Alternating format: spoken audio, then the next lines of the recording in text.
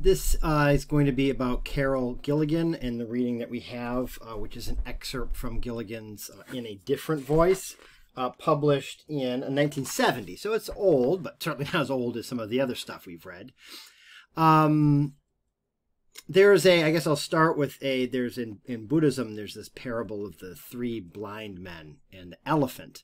And I don't remember the details of it, but something to the extent of they've got this elephant, right? And they bring in these three blind men to, uh, you know, figure out what the elephant is. Well, they figure it out by feel, right? And one of them is feeling the kind of trunk and the ears. And he says one thing of, you know, what the animal looks like. Uh, another one is feeling the big hooves, you know, um, and the feet and the coarse skin, and says, well, this is what the thing is, actually. And then another one is feeling the body or whatever. You get it, right?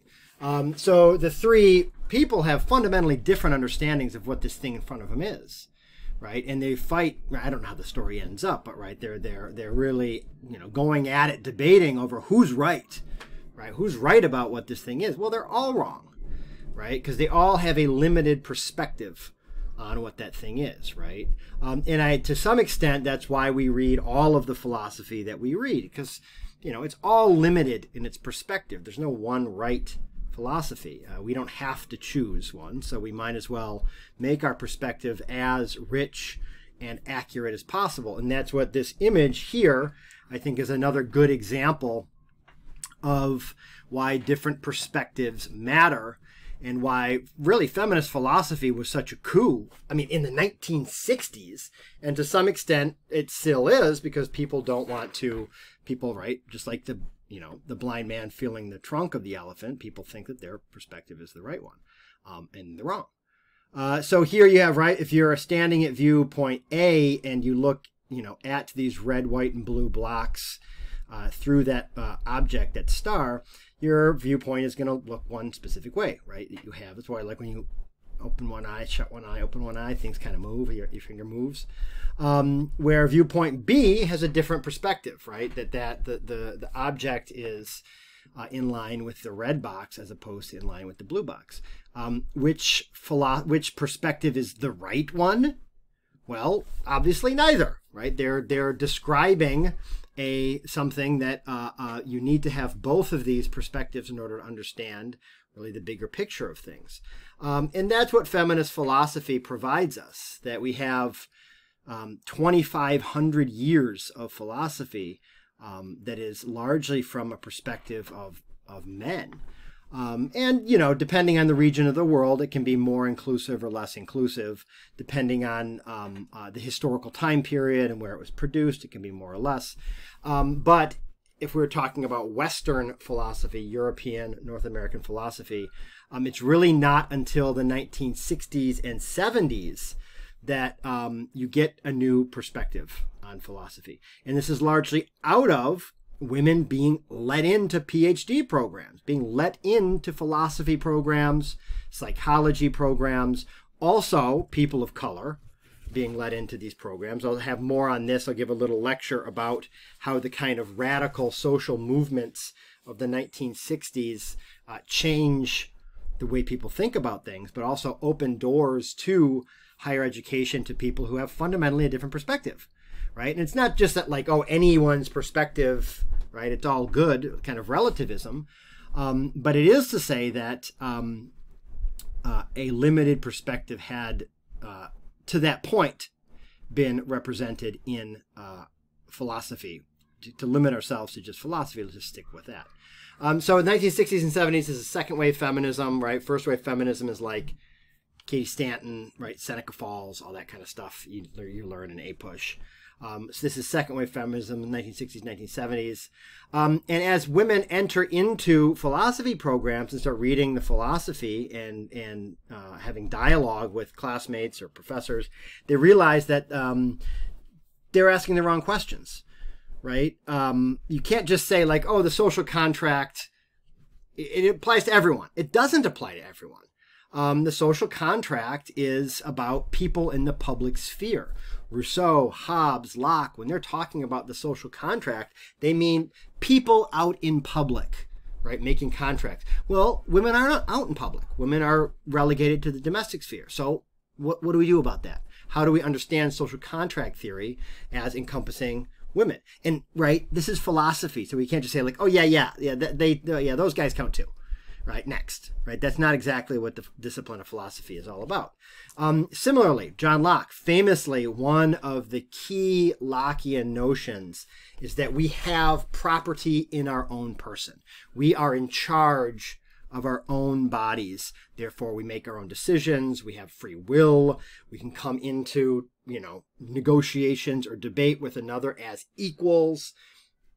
When Locke is writing, women don't have property in their own person, right? They are the property of their fathers, their husbands, um, etc. So, what? How do we how do we think about what Locke is saying and apply it to women? And again, we can't just say like, yeah, yeah, yeah, yeah, them too.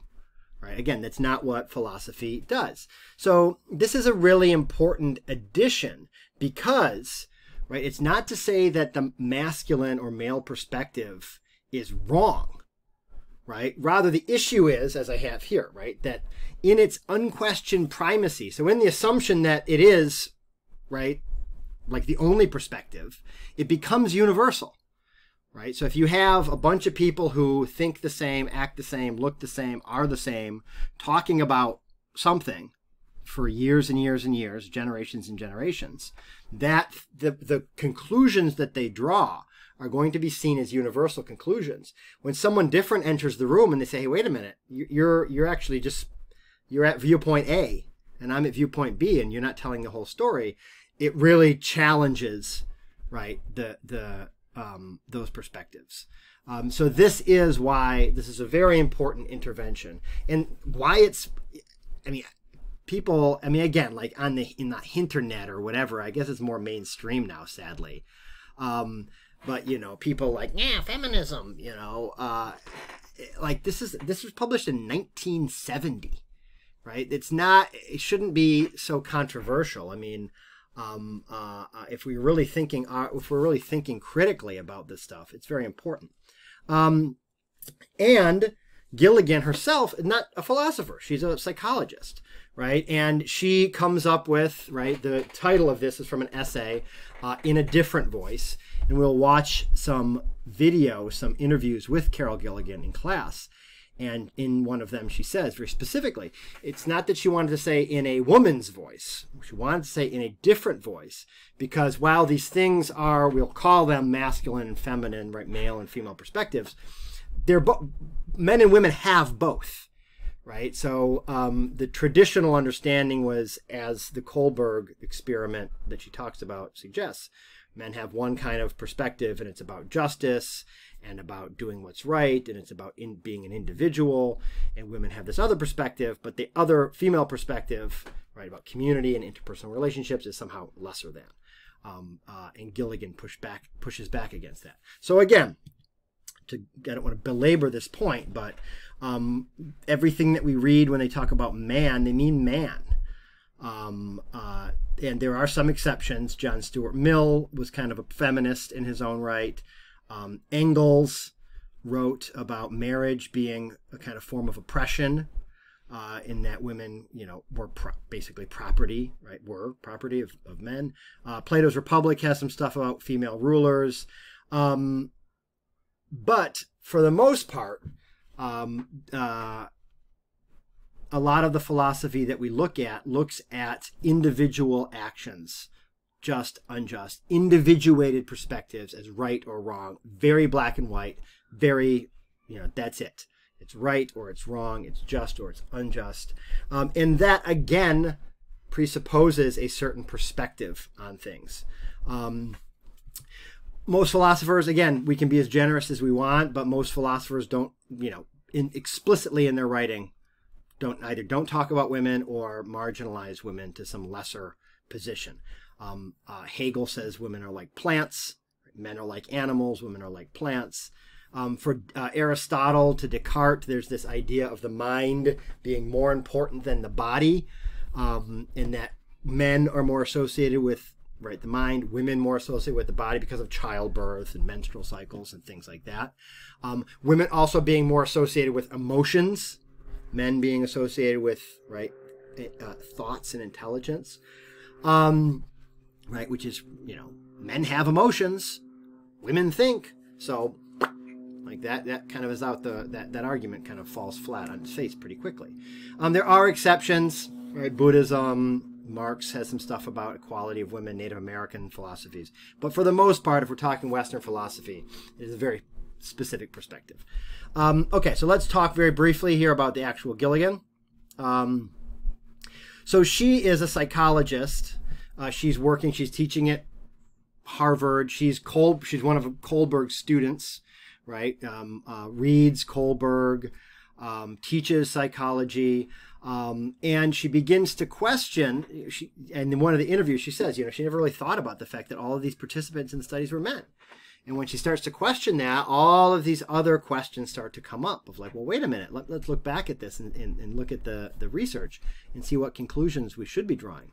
Um, so all male subjects in Kohlberg, and you'll learn if you're in AP Psych, you might learn about Kohlberg or Piaget at some point uh, this year or next year if you're a junior, or yeah, you learned about it last year, right, if you're a senior.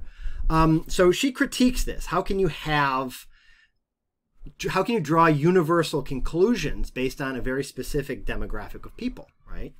Um, and she critiques that, right? So she looks at Kohlberg's findings and finds that on the one hand, the women, when women are interviewed or when men uh, are, are interviewed and, right, show a certain stage of moral development, that stage of moral development is around stage three. Um, Kohlberg has, I think, six or maybe nine stages of moral development. Um, and stage three is the one that's interpersonal, helping others, wanting to please others, um, being seeing yourself as connected to others. Um, that's also the one that female participants are more likely to voice. Right. So Kohlberg says, well, their moral development is kind of, you know, stalled out at level three, where if you want to hit the five and the six that is associated with men, um, you need to talk about individuality, your individual conceptions of justice, um, uh, and all of that stuff, right? She says this is a problem, right? Um, and we've done the reading. We can talk more in class. Um, but one of the main takeaways that she comes up with here is that categories of knowledge are human constructions. It's not a given, right? So the fact that like this was a way of categorizing knowledge that the highest form of knowledge, the highest form of moral development is this highly individuated um, uh, conception uh, and one that's associated with abstract right justice universal justice right and wrong um, in saying well that's the best one and not questioning well is it the best one or is it just the one that right these men have said uh, uh as opposed to women saying something very different, such as we feel more, right, when we make decisions, we have to make decisions being conscious of other people's feelings, other people's uh, emotions. This is, in some ways, Carol Gilligan is new to you, but this research is not. The very idea of emotional intelligence, which is something that is just like in the air that we breathe in the 21st century. This notion of emotional intelligence and understanding how your emotions affect your thinking, how your thinking affects your emotions. Um, that comes out of research like Carol Gilligan's. Um, not that like men are just kind of, you know, sterile, rational actors and there's no emotions at play at all, where women are all about the emotions and their emotions influence the way they think, and that's not good. Um, that was the old school binary um, researchers like Gilligan have broken that down to the extent where we don't really question that anymore, right? That, like, of course, your emotions play a role in your thinking, whether you're a man or a woman. So, Carol Gilligan might be new to you, but the, the, the ideas aren't. Um, so anyway, categories of knowledge are human constructions. I want to talk more about this in class, but a couple examples. Um, Darwin's language. So people say, oh, you know, Darwin's language was hijacked by social Darwinists like Herbert Spencer, and they were applied to like, you know, justify, you know, the, the, the imperialism and capitalism and exploiting of right the the developing world, et cetera, et cetera. Um, but if you look at Darwin's language, it's not Herbert Spencer that, you know, applied Darwin's objective biological ideas to human populations. Darwin is writing in the 1850s, 60s in England, and his language is steeped in industrial capitalism. It's all about competition. um, about con- about uh, contract, um, about so, I mean even the well, survival of the fittest isn't originally a Darwin Darwinian idea, right? That that people are in that uh, uh, entities are in competition biologically, right? That all of this stuff was Darwin was thinking about what he was seeing around him, right? And it unconsciously affected his language. So you have an understanding of the biological world, and the language that's applied to it is all about 19th century English political economy right? Categories of knowledge are human constructions. Uh, similarly, uh, the Himba people of Namibia. This is a this is something that I think uh, you will maybe do in AP Psych if you're in it. Uh, but you have these two different um, uh, color wheels here. I don't know if the color is off a little bit because of the recording. Um, but on the left, right, lots of shades of green. On the right, lots of shades of you know blue green, and then one that stands out. Um, the Himba can't differentiate or, or take longer to differentiate the one that is different on the right, where they can spot very quickly several different shades of green on the left, right? Because they have a different way of categorizing color, right? Greens and blues are more uh, together, where we have green and blue separate. So for us in the West, right? We look at this color wheel on the right and we very go, our eyes automatically go to that one block in the upper left quadrant. And we say that one's different. Um, and then we look at this circle on the other side and we say, uh, maybe, right? Himba person, just the opposite, right? They look at that color wheel on the left and they can point out which ones are different shades of green. They look at that color wheel on the right and they have a harder time, right? Looking at that. Because again, the language right, affects the way that they think. Categories of knowledge are human constructions. Um, the ancient Greeks, you will not find anywhere in ancient Greek writing anyone talking about blue. No blue skies, no blue oceans, no blue flowers. They don't have a word for blue, right? They have lots to describe. I mean, Homer talks about, you know, the like wine dark sea and all this kind of stuff, but it ain't blue. They don't have a notion of blue. Um, that's really weird because we do and we go, oh, that's a blue sky, right? It's logical to us. Again, categories of knowledge are human constructions. So this is an abstract idea, but it points at two different modes of ethical being, right? The one of which is masculine, which is the one that was par for the course forever, um, historically conditioned and developed. Um, feminine mode of being or ethical mode of being is historically marginalized, right? Um, that uh, um, caring about others, feeling as though you're in common with others, is is subordinate to right the individual out in public. Um, again, public sphere, private sphere, right? Two different settings. Uh, focus on individual rights, the masculine perspective. Plato, Aristotle, Descartes, um, uh, Hegel, Kant, you name it, individual rights. Locke, obviously the English political economist, are the, the peak of this, right? Individual rights, your ambition checks my ambition, Adam Smith type stuff. Um, the feminine is very different, right? It's about responsibility to others. Um, how do you make choices knowing that you are in in common with others? Um, what rules are just or fair? How do we best fulfill our responsibilities? Right? What's fair? Good, bad, fair, unfair, just, unjust, versus I've got certain responsibilities. I have to make decisions given those responsibilities. How do I do that? Um, as opposed to self interest, um, uh, we have networks of interconnection. Um, we'll see more about this when uh, in Gilligan talking about her research um, and uh, researching women who are trying to make just decisions, good decisions, fair decisions, knowing that there's incompatible, you know, you know, the husband wants one thing, the father wants another, your kids need another. How do you make a decision given the fact that, right? How do you make the least bad decision as opposed to just what's just, what's fair? I am an individual, you know, there are no ties to others. Um, uh, so these two ways of thinking about ethics are very, very important. And again, that's why Gilligan does not call it in a uh, feminine or uh, woman's voice, but in another voice. um, in a different voice because you need to understand both. And in a lot of ways, you all in the 21st century, you do already, right? Uh, it's this is not 1967, so this shouldn't be revolutionary. So even if you think it's revolutionary because you've never heard of it before, it is. You know, it is very much part of the standard discourse of um, emotional intelligence, um, uh, um, interconnected uh, um, interpersonal relationships and things like that. More on Gilligan in class.